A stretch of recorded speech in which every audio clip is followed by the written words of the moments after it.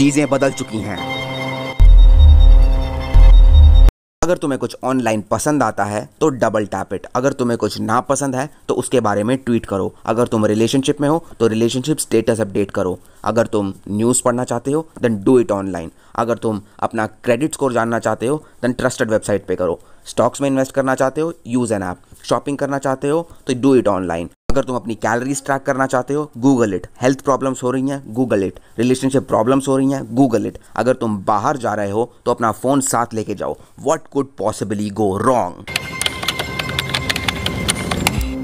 the depths of this industry, the, the really darkest corners, have yet to be exposed to any light whatsoever. This data is going to be taken from you and it is going to be sold. Every location that you visit physically can be recorded. This valuable data is now a commodity that is traded amongst a handful of companies.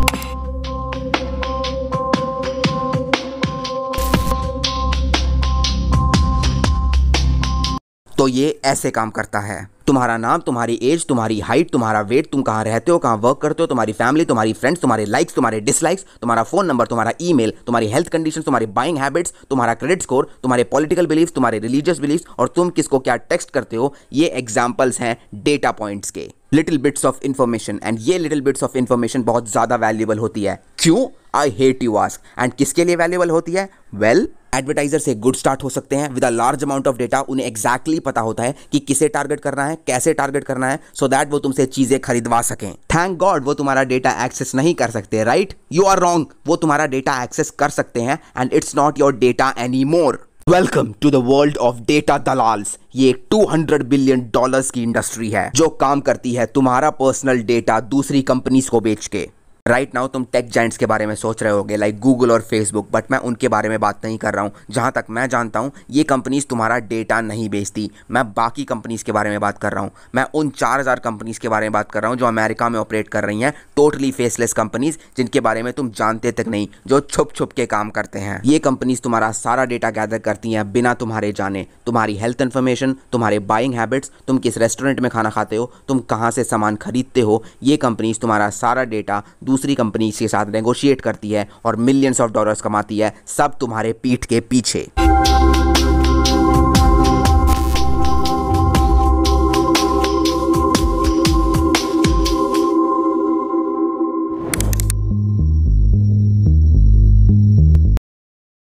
अगर तुम्हें लोगों के data से पैसा कमाना है तो तुम्हें डेटा कलेक्ट करना स्टार्ट करना होगा। काफ़ी मुश्किल लग रहा है ना बट ये इतना मुश्किल भी नहीं है जितना तुम इमेजिन कर रहे हो। आज के टाइम पे लोग अपनी इन्फॉर्मेशन विलिंगली प्रोवाइड करते हैं बिना ये रियलाइज़ किए कि उस डेटा को एक्सट्रैक्ट करके बेचा भी जा सकता है। Let start with public information जो तुम्हें किसी भी सोशल मीडिया पेजेस पे देखने को मिल सकती हैं। जो पेजेस उन्हें पसंद है जो लोकेशन उन्होंने विज़िट करी हैं relationship status hobbies friends list उनके property registration land registry court records birth certificates voter ID information bank information ये सब पब्लिकली एक्सेसिबल हैं। बट ना ये इनफ डेटा नहीं है। हमें और डेटा चाहिए होगा। तुम्हें उस कंपनी के पास जाना चाहिए जो अपने कस्टमर्स का डेटा बेचने के लिए रेडी हो। यस yes, वो तुम्हारा फेवरेट मॉल जहाँ से तुम सामान खरीदते हो उनके पास तुम्हारी सारी इन्फॉर्मेशन है। तुम क्या खरीदते हो कब खरीदते हो कितना फ्रीक्वेंटली खरीदते हो एंड गेस वॉट ये सारा डेटा बेचने के लिए रेडी है। Retailers are finding out that they have a, a secondary source of income, which is that the data about their customers is probably just about as valuable, maybe even more so, than the actual product or service that they're selling to the individual. DMVs are making millions of dollars selling drivers' personal information. Free websites and apps design करो जो दिखने में ordinary लगे but उनके actual intentions को hide करके रखो। उन वेबसाइट्स एंड एप्स पे जो तुमने ट्रैकर्स लगाए हैं, उससे तुम यूज़र्स की लोकेशन एंड कॉन्टैक्ट्स को ट्रैक कर सकते हो। एंड तुमने इन वेबसाइट्स पे कुकीज़ भी देखी होंगी। फनी नेम है ना कुकीज़ क्या तुम्हें कुछ आइडिया भी है कुकीज़ क्या काम करती हैं? इनमें से काफ़ी कुकीज़ तुम्हारे बिहेवियर को ट्रैक कर रही होती हैं। जो भी वेबसाइट तुमने देखी, जो भी न्यूज़ तुमने पढ़ी, जो भी ऑनलाइन शॉपिंग तुमने करी, ये उन वेंडर्स की एंटायर लिस्ट है जिनकी वेबसाइट तुम्हारा डेटा बेचने के लिए रेडी है। ना तुम ये पूछ रहे होगे कि क्या ये सब लीगल है? ऑफ़ कोर्स इट इज़ उन्होंने खुद एग्री किया है ये सारी इन्फॉर्मेशन देने के लिए। उनके सामने जो भी पॉपअप्स आए, उन सबको उन्होंने एग्री किया है। जो भी फेसबुक पेजेस उन्होंने पब्लिक किए हैं, वो उन्होंने खुद किए हुए हैं। उन्होंने खुद इन सोशल मीडिया पेजेस को लाइक किया है एंड जो भी थॉट्स उनके दिमाग में आए हैं, उसके बारे में फेसबुक या फिर सोशल मीडिया पे लिखा है। You know we are living in twenty century लोगों को नहीं पता कि उन्होंने किस चीज़ को एग्री एंड एक्सेप्ट किया है बट हमारे पास वो सारे डिजिटल सिग्नेचर्स हैं। ये सारे data points little pieces of gold हैं। सो जितना डेटा तुम कलेक्ट करोगे, उतना ही बेटर तुम इस प्रोसेस के नेक्स्ट स्टेज के लिए बनोगे। Look, data random bits of information नहीं होता। एक्चुअल में डेटा का असली मतलब होता है ह्यूमन बिहेवियर। नाउ जो डेटा तुमने एज अ डेटा दलाल कलेक्ट किया है, उससे हम प्रोडक्ट बनाएँगे। इस सारे डेटा को सॉर्ट एंड एग्रीगेट करना पड़ेगा, जितने भी लोगों से हमने ये डेटा कलेक्ट किया है। फिर हम उससे प्रोफाइलिंग करेंगे।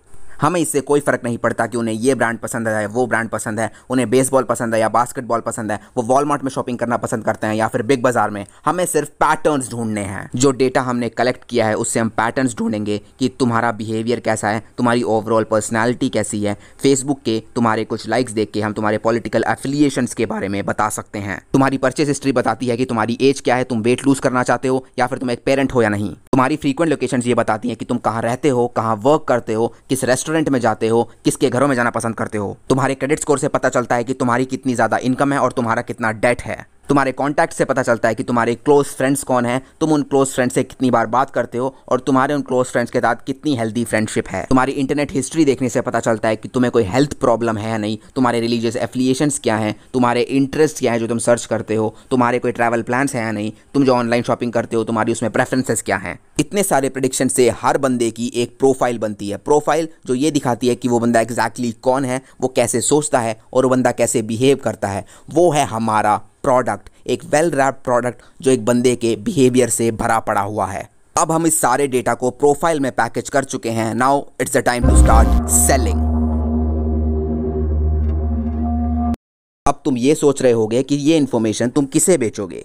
जवाब है जिसे भी ये इन्फॉर्मेशन चाहिए हो। राइट right नाउ तुम्हारे मेन कस्टमर्स होंगे मार्केटिंग कंपनीज़ अगर हमारे पास ऐसे लोगों की लिस्ट है, जिनके बाइंग बिहेवियर्स देख के हम ये पता कर सकते हैं कि वो हेल्थ कॉन्शियस हैं या नहीं, ऐसी इन्फॉर्मेशन हैंडफुल ऑफ़ कंपनीज़ के लिए बहुत ज़्यादा इंपॉर्टेंट होंगी। Like gym personal trainers health benefit restaurants health benefit companies online fitness websites ये सारी कंपनीज़ उस इन्फॉर्मेशन में बहुत ज़्यादा इंटरेस्टेड होंगी। बिकॉज़ जितना वो टारगेटेड एडवर्टाइजमेंट करेंगे, उतना ही एडवर्टाइजमेंट से उन्हें रिटर्न मिलेगा। यहीं पे तुम काम आते हो, तुम ये डेटा बेच सकते हो and it's a win win win situation to both of you क्या तुम यहीं तक रुकना चाहते हो? यू you नो know, वो प्रोफाइल्स और क्या कर सकती हैं? वो प्रोफाइल्स तुम्हारे लाइफ की रिस्कीनेस भी बता सकती हैं। एंड इस इन्फॉर्मेशन को पाने के लिए इंश्योरेंस कंपनीज़ मुँह मांगी कीमत दे सकती हैं। अगर तुमने एक न्यू बाइक खरीदी है तो रेडी हो जाओ। एक जनरल इंश्योरेंस कंपनी तुम्हारे उस इन्फॉर्मेशन को फ्लैग ऑफ़ करने लगेगी फिर तुम इस इंश्योरेंस को खरीदोगे और हाई प्रीमियम भरना स्टार्ट कर दोगे। बैंक भी इस इन्फॉर्मेशन में बहुत इंटरेस्टेड होगी बिकॉज़ वो तुम्हारी सर्च हिस्ट्री देख के तुम्हारी क्रेडिट कार्ड के परचेज के बारे में जान सकते हैं कि तुमने कोई लग्जरी आइटम खरीदी है या नहीं।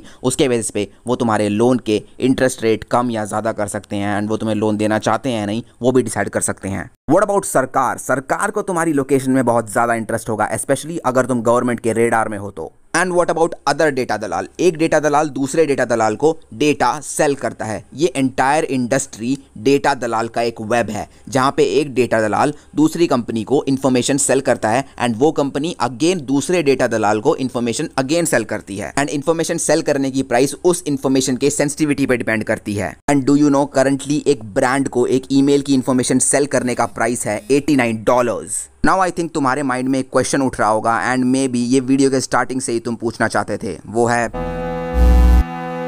चांसेस हैं अगर तुम उस वर्ल्ड में पैदा हुए हो जहाँ पे surveillance technology and internet exist करता है, तुम शायद इस इंफॉर्मेशन के रिगार्डिंग इतना बॉदर नहीं करोगे। नाउ ये सिर्फ़ तुम ही नहीं सोचते हो। काफ़ी लोग ऐसी मेंटालिटी रखते हैं एंड बोलते हैं I have nothing to hide therefore nothing to fear now this shows data दलालों की इंडस्ट्री में एक मॉरल डिलेमा है। बिकॉज़ तुम्हारा डेटा बेचने के बाद तुम काफ़ी वेबसाइट्स एंड ऐप्स को फ्री में यूज़ कर सकते हो तो does it really matter to you after all data को क्रिमिनल्स को ट्रैक करने के लिए भी यूज़ किया जा सकता है। डेटा को एपिडेमिक्स को प्रेडिक्ट करने के लिए भी यूज़ किया जाता है to treat diseases and many more things but अगर तुम्हारा डेटा किसी रॉन्ग हैंड में चला जाए या फिर एक कंपनी तुम्हारे डेटा को एक ऐसे आदमी को बेच दे जिसकी इंटेंशन उन्हें पता ही नहीं हो तो क्या होगा?